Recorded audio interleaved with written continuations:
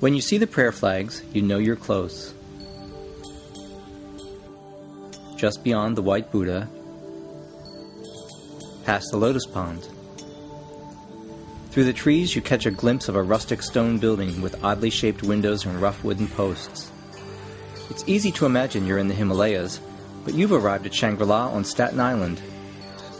Jacques Marchais Museum of Tibetan Art, one of New York's most unusual cultural treasures. Modeled after a Buddhist monastery, this intimate museum houses a spectacular collection of extremely rare Himalayan art and artifacts, dating from the 17th century.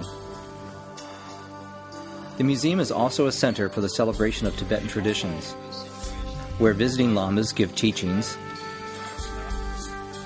children's authors give readings, and sand painters give demonstrations of their art. There are modern photography exhibits, a rare Bhutanese sand mandala preserved under glass, and tours of the terraced meditation gardens. The museum was built by Jacques Marchais, a New York socialite who became fascinated with Tibetan art in the 1920s when Tibet was virtually unknown to the West. She designed the museum not only as a home for her collection, but as a hilltop sanctuary situated near the highest point on the eastern seaboard.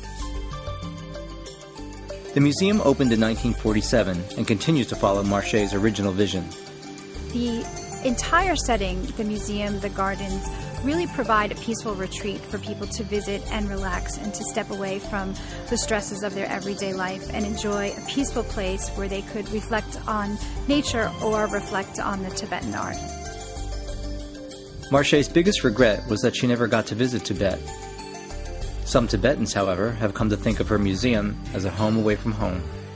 When you go there, you feel like you're sort of going, uh, kind of like it's like a little window to Tibet meaning you're not in Tibet, but certainly that is where you find a window through which you look at Tibet. Going there, uh, to me, is essential.